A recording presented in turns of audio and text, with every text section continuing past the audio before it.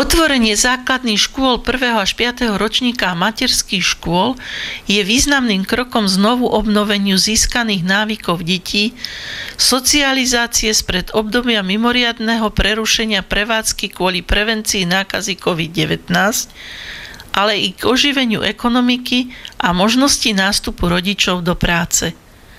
Zriadovateľ, mesta a obce rozhodol o otvorení škôl a školských zariadení s prihliadnutím na personálne, materiálne a priestorové možnosti.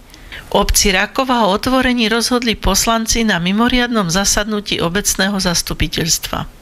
Na základe rozhodnutia ministerstva školstva Slovenskej republiky sme hneď ako to bolo možné zvolali zasadnutie obecného zastupiteľstva v Rakovej, nakoľko zriadovateľom sa bere obecné zastupiteľstvo, nie ako si niektorí občania myslia starosta podľa školského zákona. Eh, chceli sme túto tému prediskutovať hlavne či už so členmi školských rád alebo aj komisí, ktoré sú zriadené pri obecnom zastupiteľstve, lebo nie je to jednoduché rozhodnutie otvoriť či už základnú alebo materskú školu v takejto mimoriadnej situácii po prerokovaní či už stanovisk riaditeľov škôl alebo aj jednotlivých členov komisí sme sa nakoniec, alebo zastupiteľstvo sa nakoniec rozhodlo, že materské školy budú otvorené od dnešného dňa, avšak základná škola Milana Mravca otvorená nebude.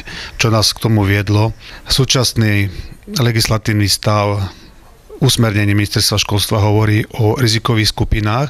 Sú to hlavne zamestnanci na 60 rokov, sú to zamestnanci alebo zamestnanky, ktoré sú e, tehotné alebo ktoré prekonali alebo majú nejakú vážnu chorobu a toto sú všetko zamestnanci, ktorí sú zaraďovaní do rizikových skupín. Nakoľko v našej základnej škole je také množstvo rizikových zamestnancov, ktorí by nemohli nastúpiť do vyučovania, nebolo možné z personálnych dôvodov túto školu otvoriť. Ja verím tomu, že táto situácia sa čoskoro zmení a budeme môcť privítať všetky deti do základnej školy. Podľa mňa mohlo byť veľmi ťažké určiť z tých 140 detí, 140 žiakov, ktorí mali záujem o vyučovanie, ktoré zoberieme do základnej školy a ktoré nie. Lebo vedeli by sme túto základnú školu otvoriť od 1.6., ale nie so 7 vyučovacími triedami. V obci Rákova otvorili od 3. júna 2020 materskú školu Korcháň a materskú školu Fojstvo.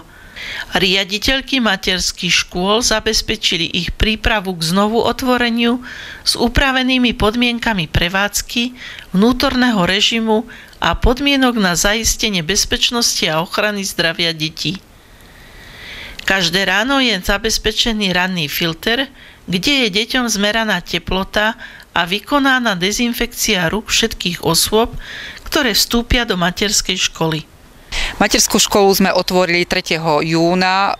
Podarilo sa nám prijať 4 skupiny v materskej škole Fojstvo, v materskej škole Ugala dve skupiny do 15 detí. Záujem prejavilo 63% rodičov. Prijali sme deti v prvej línii hasičov, policajtov, zdravotníkov, v druhej línii pedagogických a odborných zamestnancov, deti, ktorí majú obidvoch rodičov pracujúci a deti, ktoré idú prvý rok, tento rok do základnej školy od 1. septembra.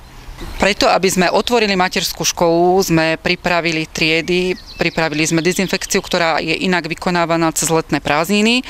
Pani učiteľky nosia rúška, pokiaľ prídu rodičia do materskej školy s deťmi potom už počas výchovno-vzdelávacieho procesu rúška nepotrebujú. Deti prichádzajú do budovy zvláštnym vchodom z jednej strany budovy aj z, hlavného, z hlavnej strany budovy. Prichádzajú do provede so prevádzajúcou osobou, ktorá žije s nimi v spoločnej domácnosti. Deti si pri príchode dezinfikujú ruky a e, bude im zmeraná teplota. Ako vidíte, tak deti prichádzajú k nám veselo. Pri prvom vstupe do materskej školy rodičia podpisujú pre deti vyhlásenie o zdravotnom stave stave a každý deň podpisujú prehlásenie, že nepocitovali za posledných 24 hodín nejaké zdravotné problémy. To znamená zvýšená teplota, kašel, sopel alebo nebodaj hnačku alebo nejaké bolesti hrdla. Organizácia výchovno-vzdelávacieho procesu bude prebiehať ako doposiaľ. Deti budú mať pripravené všetky podmienky ako počas školského roka len ich bude menej v skupine a čo sa týka odpoludnejšieho spánku, deti majú rozostupy medzi ležadlami 1 meter, preto je tá skupina menšia. Sme veľmi radi, že sa nám podarilo za pomoci obecného zastupiteľstva otvoriť materskú školu, pretože záujem bol veľmi veľký, bolo to 63% a veľmi sa na deti tešíme. Obci pôsobí aj cirkevná základná škola Jána Palárika, ktorá obnovila vyučovanie od 1. júna 2020 v rozsahu a forme v súlade s rozhodnutiami a usmerneniami v čase COVID-19 vydaných Ministerstvom školstva, vedy, výskumu a športu Slovenskej republiky. Jej zriadovateľom je rímskokatolícka cirkev Žilinská dieceza. Isudská knižnica v Čaci je od 11. mája 2020 sprístupnená verejnosti v pracovných dňoch čase od 8.30 do 16.30 poskytuje knižno-informačné služby pri dodržiavaní určených hygienických bezpečnostných opatrení podľa podmienok Úradu verejného zdravotníctva Slovenskej republiky. Vážení návštevníci Kisuckej knižnice v Čaci, najprv dovolte jednu pozitívnu optimistickú správu. Okrem toho, že sme takmer po dvojmesačnej prestávke otvorili brány a sprístupnili naše bohatstva, pre vás, každodenných našich návštevníkov a poskytovali vám naše knižno-informačné služby. Dovolte ešte jednu pozitívnu správu. S pravdepodobnosťou od 1. júla bude v našom vstupnom priestore vo v hale našej knižnice umiestnený občerstvovací automat, kávomat na kávu so sebou a čaj. Aj takýmto spôsobom budeme mať snahu vám spríjemniť pekné chvíle strávené v našej knižnici. Naša knižnica pracuje v rámci striktného dodržiavania určených hygienických bezpečnostných opatrení podľa opatrení Úradu verejného zdravotníctva Slovenskej republiky. Z týchto dôvodov je vstup do knižnice možný len s prekrytím horných dýchacích ciest, rúškom, šálou, šatkom a podobne. Pri vstupe do knižnice je potrebné použiť pripravenú dezinfekciu na ruky. Vo vstupnom vestibule je vyčlenený priestor na vrátenie vypožičaných kníh, ktoré potom dávame na 5 dní do karantény. Pri čakaní na evidenciu vrátených alebo vypožičaných kníh je potrebné zachovávať minimálne dvojmetrové odstupy medzi osobami, ako vidíte znázornené červenou páskou po zemi, ktorá striktne určuje, kde jednotliví používateľia musia dodržiavať tie povinné odstupy. Knižnica poskytuje prezenčné a absenčné vypožičné služby. Verejný internet je pre našich návštevníkov sprístupnený počas otváracích hodín. Knižnica poskytuje bez obmedzenia aj rešersné služby, výpožičky z iných knižníc prostredníctvom medziknižničnej výpožičnej služby, rezervácie a odloženie dokumentov. Poskytujeme aj skenovacie a kopírovacie služby, vypožičiavanie si starších kníh a starších čísel periodík, Zároveň naši používateľia môžu využiť aj možnosť viazania bakalárskych a diplomových prác do hrebeňovej i teplnej väzby a laminovanie voľných listov. V prípade priaznivého počasia bude k dispozícii aj letná čitáreň, na ktorej je možné stráviť príjemné chvíle oddychu a čítania pri knihe alebo časopise. Veľmi zaujímavú výstavu sprístupnila knižnica, pretože máme jeden excelentný výstavný priestor vo výpožičnej hale. Jednak je to výstava pána Šimu zo Skalitého. Jeho práce sú vyinštalované v organizačnej garancii Kisuckého kultúrneho strediska. Je to amatérský výtvarník, ktorého práce si môžu naši návštevníci prezrieť.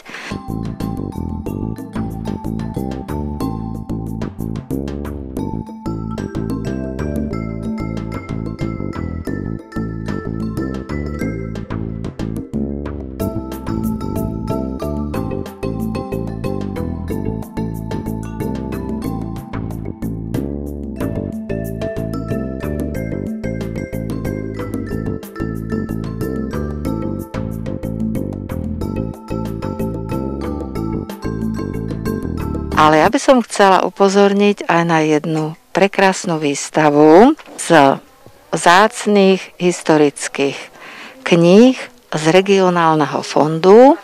Je to výstava pod názvom Sklenotnice Kisuckého regionálneho fondu. Sú to vzácne unikáty a pozývame všetkých priaznivcov regiónu Kisúc, aby si pozra- pozreli jeho originály a významné dokumenty. Pri príležitosti Medzinárodného dňa detí knižnica pripravila rozprávkové odpoludnie a zážitkové čítanie málo známych rozprávok. Peťka deťom čítala rozprávky, ktoré určite ešte nepoznali. Kde bolo, tam bolo, bolo raz jedno zabudnuté kráľovstvo, kde stále vládol kráľ. Bol dobrý a láskavý, ale veľmi zaostalý a nedbal na hygienu ani na svoj zobňajšok. Nerád sa kúpal, chodil neoholený a málo kedy si dal ostrihať vlasy. Preto ho všetci volali Hastroš. Najhoršie však bolo, že jeho jediná dcéra, princezna Brblajda, bola taká istá, ba ešte horšia. Vôbec si nečesala vlasy, nekúpala sa a dokonca sa vôbec neumývala. Nesmierne smrdela a aby tá hrôza bola úplná, vôbec si nevymieniala nohavičky. Nuž, a preto ju v celom kráľovstve nik nevolal inak ako princezná Hastroška.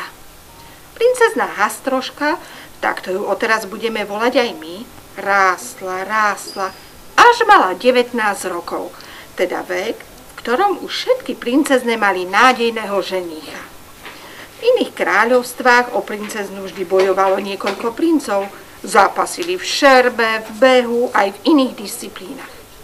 O hastrošku však nejaký ženích nemal ani len záujem. Každý, kto ju uvidel, čo najrychlejšie zutekal.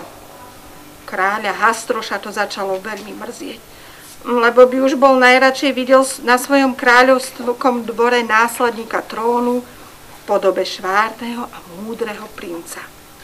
Ale kde ho zobrať? Keď sa nikto neuchádza o princezninu ruku. Nakoniec sa kráľ rozhodol, že vyhlási súťaž o roku princezny Hastrošky a pozve na ňu všetkých princov z okolitých krajín. Aj tak urobil, no ale nikto neprišiel. Kráľ Hastroš ostal veľmi smutný a napokon vyhlási, že kto z princov si vezme princeznu Hastrošku za ženu, dostane pol kráľovstva ktoré bolo veľké a veľmi bohaté. Pre priaznivcov hudby ponúkame ešte možnosť dodatočne si kúpiť opotrebované a vyradené vinilové CD platne z rôznych hudobných žánrov a taktiež aj hudobniny v cene 30 centov za jeden kus. Máme ešte dostatočný počet týchto platní a hudobnín a fajnšmekry si určite prídu na svoje. Nech sa páči, príďte si vybrať. A našich priaznivcov, registrovaných čitateľov a používateľov pozývame na ďalšie naše atraktívne podujatia. Určite vám nie je neznáma kniha Kisúc 2019.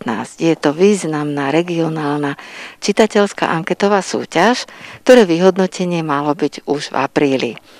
Keďže sme to v dôsledku koronavírusu museli preložiť, pozývame vás na štvrtok 25. júna o pol štvrtej popoludni na slávnostné vyhodnotenie výsledkov tejto významnej anketovej čitateľskej súťaže Kniha Kisúc 2019. Taktiež vás pozývame aj na také literárne matiné, na reminiscencie 12. ročníkov Svetojanskej poetickej noci. Tá sa uskutoční 19. júna v knižnici a bude vlastne naozaj spomínaním na nezabudnutelné nočné zážitky svetojanských poetických nocí minulých rokov. Máme pre vás pripravených veľa, veľa aktivít. Veľmi sú zaujímavé online aktivity, powerpointové prezentácie, kvízy, súťaže, online aktivity, ktoré nájdete na web stránke našej knižnice. Okrem toho, že si ich pozriete, zahádate si a vykúzlite, Príďte postupne aj medzi nás a my už teraz sa tešíme na vašu návštevu. Dovidenia v našej Kisuckej knižnici v Čaci. Od 3. júna 2020 sa okrem iných prevádzok otvorili aj fitness centra a ostatné vnútorné športoviska, vrátane plavárni pre širokú verejnosť.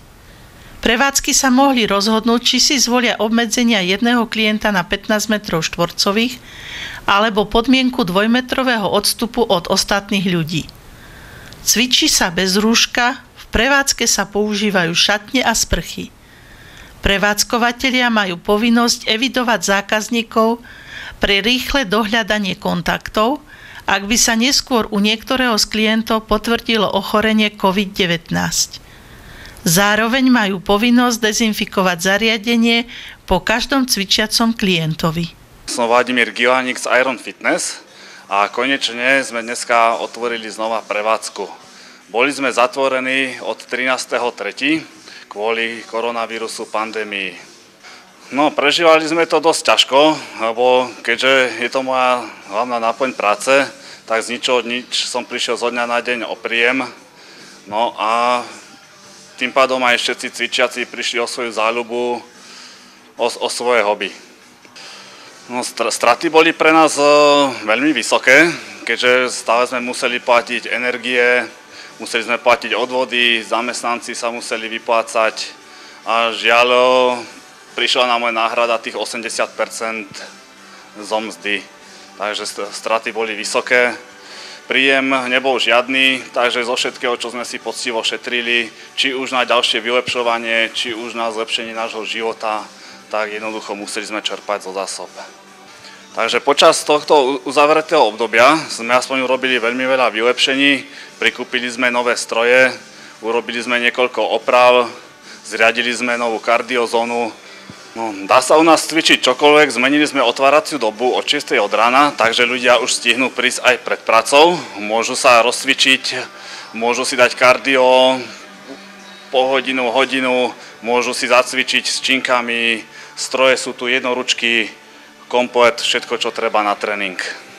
Záujem o cvičenie stále je, denodenne veľmi veľa správ mi chodí, či sa cvičí, ako sa cvičí. Samozrejme ľudia sa aj boja, či sa nenakazia, či dodržujeme všetky bezpečnostné pokyny a takisto sa boja o platnosť pernamentiek, ktorú sme samozrejme predlžili. Takže všetko pokračuje tak, ako, ako skončilo, len vo vynovenom lepšom fitku. Pernamentky boli zastavené dňom, kedy sa uzatvorili prevádzky, a samozrejme dnešným dňom zase začínajú plynúť, takže nikto o nič nepríde zo zákazníkov. Všetkých pozývame znovu do fitka, začať pracovať na sebe, na svojom zdraví, na svojej postave, na svojom výzore, na lepšom sebavedomí a pri vstupe hneď môžete použiť dezinfekciu, tak ako má byť.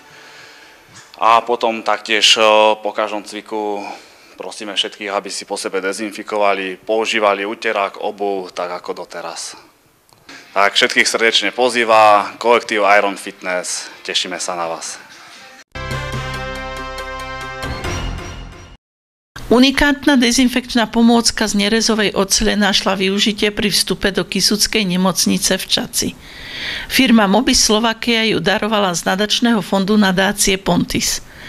Jedinečná dezinfekčná brána disponuje bezdotykovým senzorom s časovačom a tiež triskami na rýchlu a rovnomernú aplikáciu dezinfekcie. My v začiatkoch teda e, vzniku tejto pandémie a teda rozšírenia sa na Slovensku sme v prvom rade sa snažili zabezpečiť teda e, zdravie a bezpečnosť našich zamestnancov, ale niekde v podvedomí už sme rozmýšľali na to, ako e, okolitým nemocniciam v regióne podať pomocnú ruku a spoločne s, s natáciou Pontis teda e, sme spravili nejakú, nejakú, e, nejaký balík opatrení pre jednotlivé nemocnice, čo výsledkom je dnes táto e, brána, ktorú sme nainštalovali. A dúfam, že bude slúžiť tu na tomuto Kisuckému regiónu a tejto Čačanskej nemocnici. Vďaka firmám, ktoré sú na Slovensku veľmi ochotné pomáhať v čase covidovej, tak aj práve firma spoločnosť Mobic, ktorá práve týmto spôsobom, že nám pomohla zabezpečiť túto dezinfekčnú bránu. Je to pre nás veľmi, veľmi vzácne, keď aj lokálne firmy podporujú, pomáhajú zdravotníckým zariadeniam. No a práve táto brána, ktorá slúži na ochranu pred e, nebezpečnou nákazou, kde vlastne pacient vstúpi, e, dezinfekčný roztok ho rozpráši po ňom ten aerosol, ktorý vlastne zničí tie baktérie, ktoré sa nachádzajú či už na odeve alebo na rukách, dopadne, keďže je tam aj ochrana na ruky, tak samozrejme e, tým docielíme to, že skutočne ten pacient aspoň v tej väčšej miere vstupuje očistený do toho vnútorného prostredia prostredia našich zdravotníckých zariadení a znižujeme tak riziko šírenia práve tých nebezpečných nákaz, ako je práve koronavírus alebo COVID-19. Ako je všeobecne známe, e, vírusy sa šíria nielen e, kvapočkami a teda inhalovaním, dýchaním, ale šíria sa aj kontaktom, dotykom. A z tohto dôvodu je veľmi nevyhnutné, aby v dnešnej dobe ľudia dezinfikovali nielen ruky, ale v podstate tento systém, táto nová brána nám umožňuje dezinfekciu v podstate celého tela. Je to viac menej e, šetrný spôsob dezinfekcie, pretože e, ak si to ľudia odskúšajú, budú, budú cítiť, respektíve nebudú cítiť nejaký nával tekutiny, ale e, tá pára, ktorá vychádza z tejto brány, nám dezinfikuje v podstate celý, celý povrch tela a pacienti si samozrejme budú dezinfikovať aj ruky v rámci tejto brány.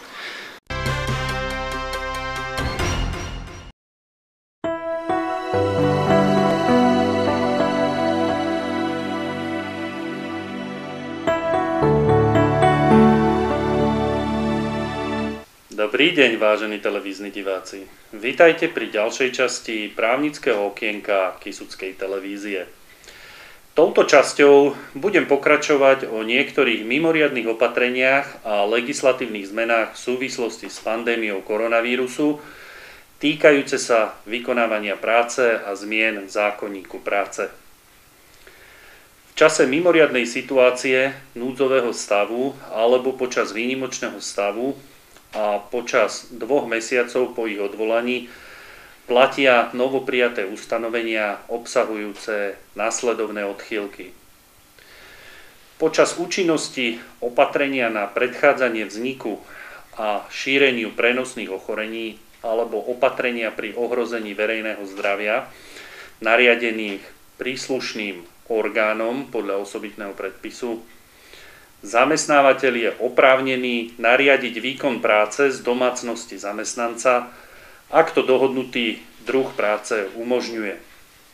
Tiež zamestnanec má právo na vykonávanie práce zo svojej domácnosti, ak to dohodnutý druh práce umožňuje a na strane zamestnávateľa nie sú vážne prevádzkové dôvody, ktoré neumožňujú výkon práce z domácnosti. Rozvrhnutie pracovného času je zamestnávateľ povinný zamestnancovi oznámiť najmenej 2 dní vopred, ak sa so zamestnancom nedohodne na kratšej dobe a s platnosťou najmenej na týždeň. Čerpanie dovolenky je zamestnávateľ povinný oznámiť zamestnancovi najmenej 7 dní vopred a ak ide o nevyčerpanú dovolenku z predchádzajúceho roka najmenej 2 dní vopred. Toto obdobie však môže byť skrátené so súhlasom zamestnanca. Zamestnávateľ ospravedlní neprítomnosť zamestnanca v práci aj počas jeho dôležitej osobnej prekážky v práci, ktorou je karanténne opatrenie alebo izolácia. Za tento čas nepatrí zamestnancovi náhrada mzdy, ak osobitný predpis neustanoví inak. Zamestnanec, ktorý má dôležitú osobnú prekážku v práci z dôvodu karanténneho opatrenia, izolácie, osobného a celodenného ošetrovania chorého člena rodiny podľa osobitného predpisu alebo osobnej a celodennej starostlivosti o fyzickú osobu podľa osobitného predpisu sa na účely zákazu výpovede posudzuje ako zamestnanec ktorý je uznaný za dočasne práce neschopného.